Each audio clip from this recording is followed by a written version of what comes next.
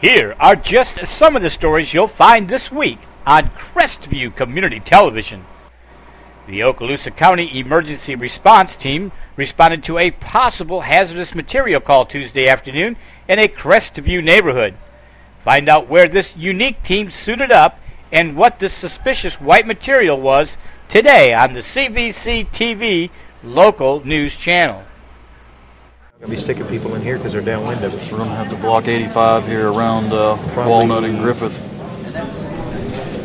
And in a timely related story, the city of Crestview, Okaloosa County, and emergency management and response personnel from across northwest Florida gathered in Crestview last week to carry out a tabletop training exercise that put to the test regional coordination between dozens of emergency response agencies.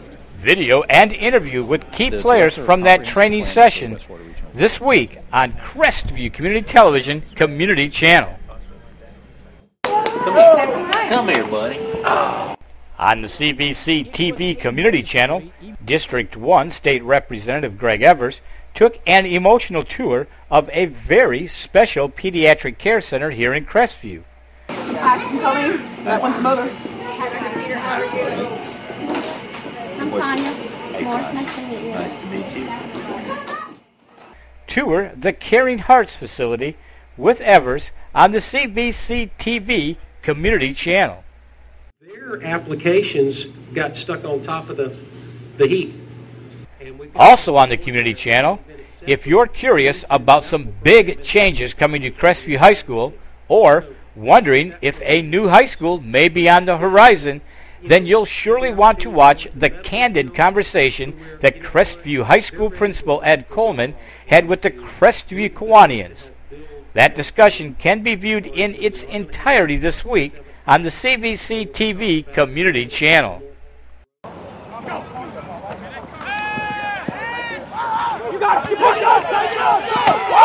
On the CVC TV Sports Channel, your Northwest Florida Falcons are now 2-0 with their impressive shutout of the Panama City Buffaloes.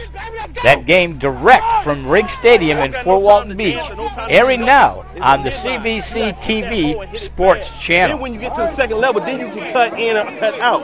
All right? All right. If it's happening in North Okaloosa County, then most likely you will see and hear it first on Crestview Community Television, North Okaloosa County's number one source for local news and community events.